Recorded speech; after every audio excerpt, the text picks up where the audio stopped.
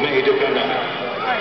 You will not be able to see his eyes because of T-shades, but his knuckles will be white from inner tension, and his pants will be crusted with semen from constantly jacking off when he can't find a rape victim.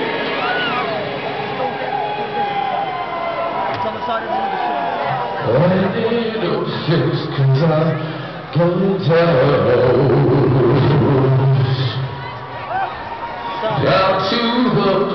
where I no fix cause I'm going down